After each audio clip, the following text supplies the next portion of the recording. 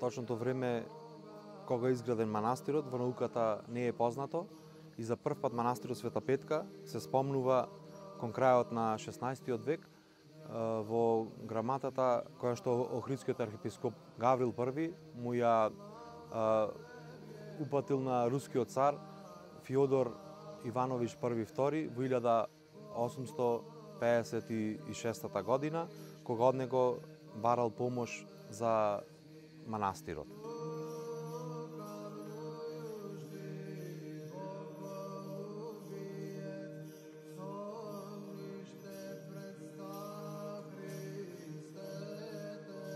Манастирската црква е обновена во 1890 година по барање на игуменот на манастирот Наум од Охрид, кој упатил барање до големата порта и истото барање било одобрено од султанот на тогашната Отоманска империја Абдул Хамид II. Манастирот скоро во целата своја историја бил како манашки манастир се до крајот на 20 век и после Балканските војни е овде живеело па се до, до наши времења женско монаштво.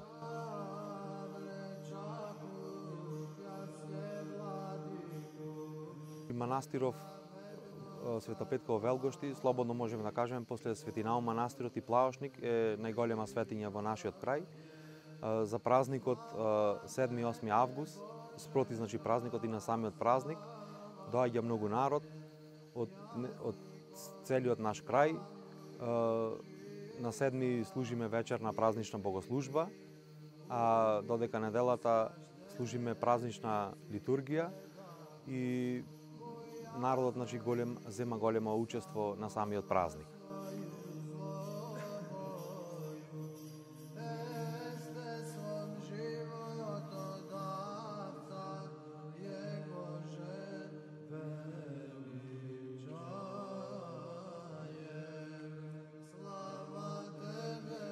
Под самиот манастир долу имаме лековита вода или агиазма, каде што народот, луѓето верниците одат долу, си полнат вода, палат свеќи на самото место и водата ја користат за миење и за пиење за здравје и така натаму.